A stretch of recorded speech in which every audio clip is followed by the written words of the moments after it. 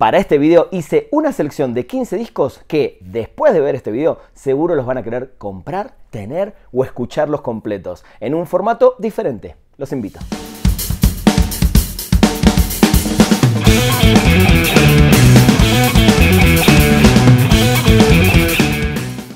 Funk, jazz, un poco de fusión, sonidos africanos, algo de electrónica, algo, ¿por qué no?, de pop también, en 15 discos que buscando, eh, y en estos días estuve acomodando mi discoteca, volví a escuchar, volví a ver y dije, wow, hace mucho que no escucho estos discos y creo que lo que quiero lograr con este video es salirme un poco de la monotonía a veces del rock, del metal o del pop o de lo alternativo e irnos un poquito a otros lugares que para algunos no son lugares explorados y quizás a través de este video terminen diciendo, wow, vamos a ponerlos, vamos a ir escuchando, voy a hablar muy poquito porque creo que lo que más quiero es que conozcan quizás artistas que no conocieron o discos que no conocían y les den ganas después de ir a escucharlos. Bienvenidos y bienvenidas. Recuerden que yo soy Rana Funk en todas las redes sociales y no olviden suscribirse a este canal. Ojalá en serio disfruten de estas 15 recomendaciones diferentes. No son las clásicas, quizás algún disco sea un poquito más conocido que otro, pero ojalá lo disfruten. El primero es Doing to Dead de los de GVS, que es la banda de los 70s, finales de los 70s, 80s eh,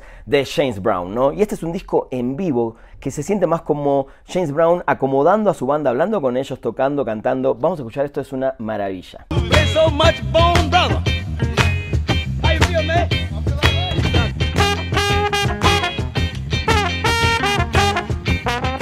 Por supuesto, mucho funk, jazz, obviamente el soul, lo que nos tenían acostumbrados eh, James Brown, pero acá el foco realmente está puesto en su banda. Así que el primero de todos.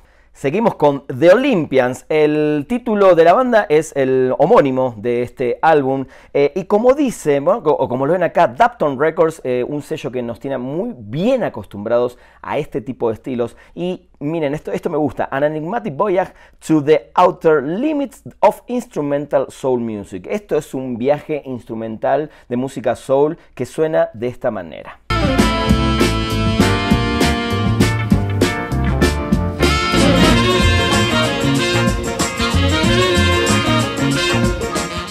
The Olympians es un verdadero caso si quieren poner algo instrumental, sin voces, donde hay mucho funky también en las guitarras, mucha fuerza en los vientos, en las percusiones, como verán, bastante una instrumental, una banda instrumental bastante interesante, así que The Olympians.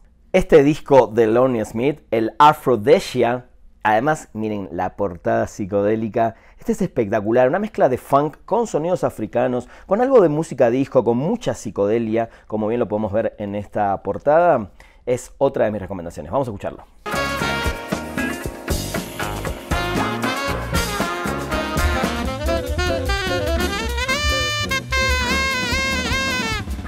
Se sentía muy bien también esos toques de jazz, ¿no? Así que Lonnie Smith, Aphrodisia, mi próxima recomendación. Nature's Divine con su On the Beginning, otro discazo. Me encanta esta portada con este especie de micrófono parlante en el medio de la naturaleza, justamente. Eh, muchísimo funk, música disco eh, y seguramente si escuchan este disco completo, quizás van a escuchar algunos empleados o algunos sonidos que años después los Daft Punk los tomaron para Random Access Memory. Vamos a escucharlo.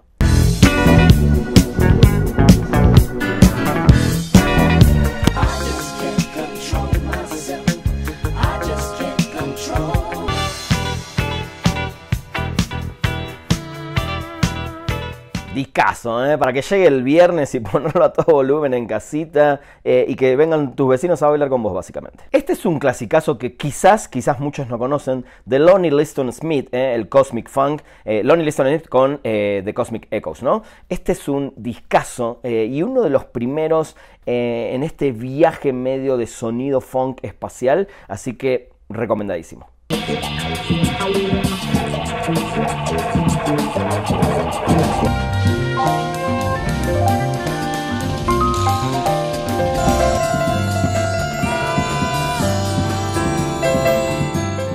Maravilla, ¿eh? Como además este viaje de funk se cruza con, mucho jazz también. Así que recuerden, Lonnie Liston Smith, eh, Cosmic Fun, consigan esta belleza.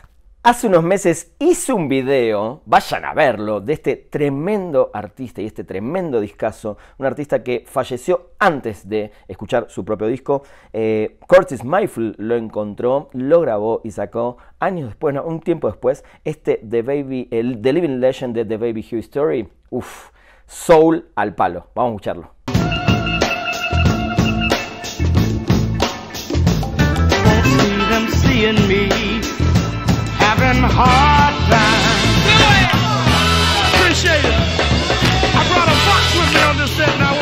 No se pierdan en serio esta tremenda joya. Eh. Miren lo que es esta foto.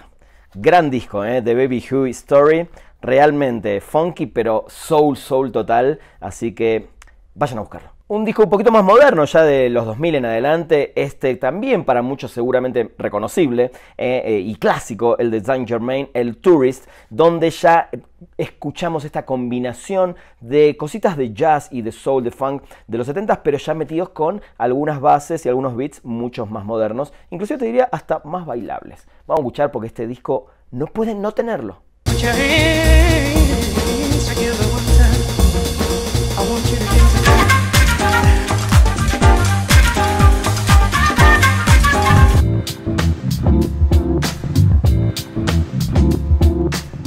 El ambiente que te da este disco de Saint Germain el Tourist es espectacular. Amo la portada, me, transmite muchísimo. Así que nada, sonidos de jazz, de funk, de soul, con mezcla de algo moderno, electrónico, Saint Germain Tourist. Tremenda joya a la que llegué hace unos años. The Danger Mouse y Daniel Lelupi presentan Rome, este discazo, donde también vamos a escuchar a Jack White y a Nora Jones. Eh, no tengo mucho para decir. Esto sencillamente, esta belleza hay que escucharla.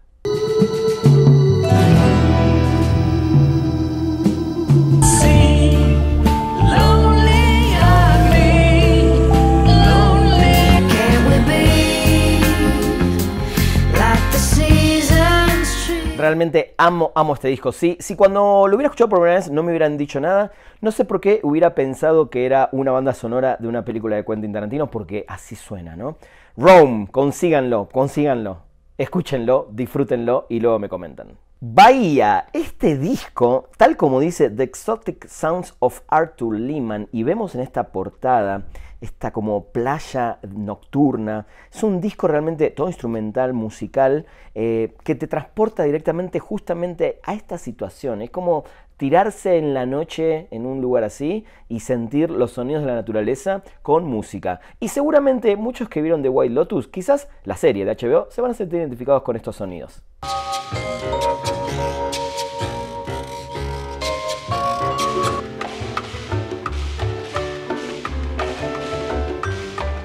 Una maravilla, es como si fuera un soundtrack ¿no? de una película así de los 60 en la playa eh, Bahía. Consíganlo también porque esto es espectacular. Cuando tres artistas tan grosos como John Batiste, Chad Smith y Bill Laswell se juntan para hacer The Process, este disco experimental con algo de funk, con algo de jazz, con algo de rock, con algunos invitados más, sale algo maravilloso.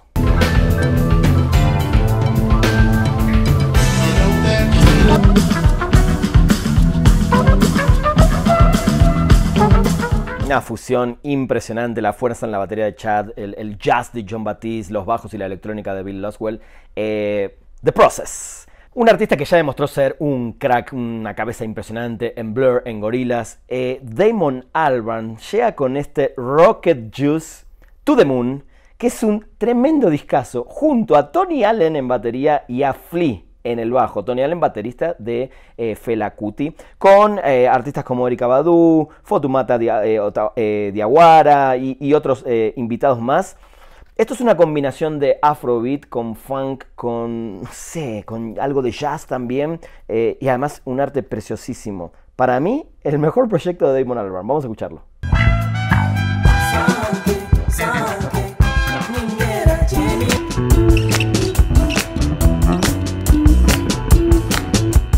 Tremendo proyectazo, ¿eh? Rocket Juice to the Moon. Eh, o And the Moon, perdón, Rocket Juice and the Moon. Eh, grandísimo disco y además, bueno, con esos músicos no hay mucho más para, para acotar. Siguiendo con Tony Allen, este tremendo baterista de, la historia de Fela Kuti, donde también inclusive incluye una canción con Damon Albarn, le, le, devuelve ahí la gentileza, la invitación, saca este disco que claramente está muy muy relacionado con el afrobeat y este tipo de sonidos.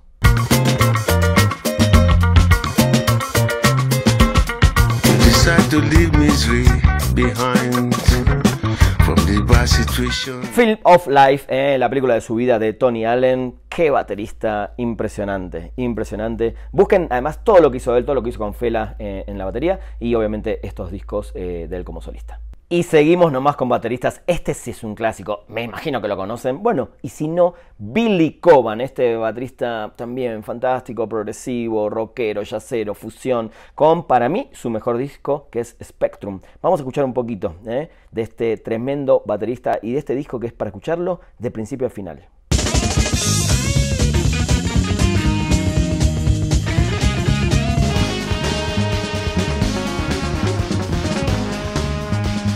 Qué bárbaro. Lo que escuchaba no, era una maquinita electrónica haciendo drum and bass, sino que era Billy Coban tocando la batería en este disco de fusión eh, impresionante, muy eléctrico. Tiene una onda espectacular. Así que Billy Coban Spectrum.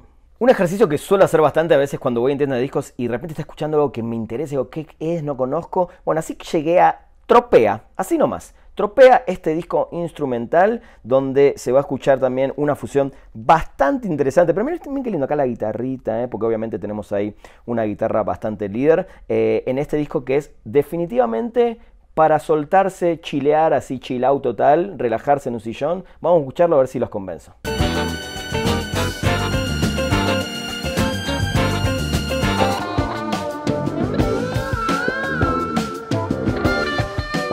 Tremenda esa guitarrita, ¿no? Miren, es la que estaba ahí. Eh, John Tropea, eh, para que sepan, eh, John Tropea, que además lo produce este guitarrista sacando este discazo con mucho funk y mucho relajo, mucha experimentación, así que así lo buscan, Tropea.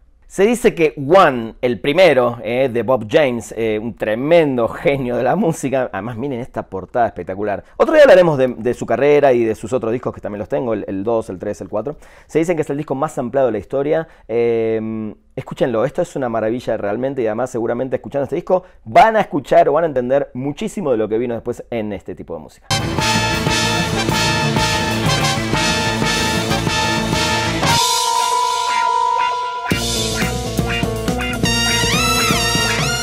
Bob Chains One, eh. eh. búsquenlo, búsquenlo, busquen después si quieren los otros, eh, el 2, el 3, el 4, que también están muy buenos, así que buenas recomendaciones, ¿no? Para terminar este video, eh, nunca lo hago esto, pero decidí eh, agarrar la cámara porque me sentí muy inmerso en esta nueva manera, o no, es que voy a hacer todos los videos así, pero me pareció interesante porque justamente es un video donde la música va a hablar más por mí, definitivamente, y porque siento que un montón de estos discos quizás no los conocían, o quizás sí alguien me dice, che, yo conozco de eso mucho más. Bueno, tengo muchísima música de este estilo, em, generalmente está muy ligada al funk y todo lo que me gusta del funk, y no al funk que conocemos tradicionalmente, como Parliament, Funkadelic, Sly, eh, Ohio Players, etcétera, sino que otro tipo de artistas. Así que nada, recuerden que me pueden seguir como arroba ranafunk en todas las redes sociales. Eh, me gusta estar así también a veces, ¿eh?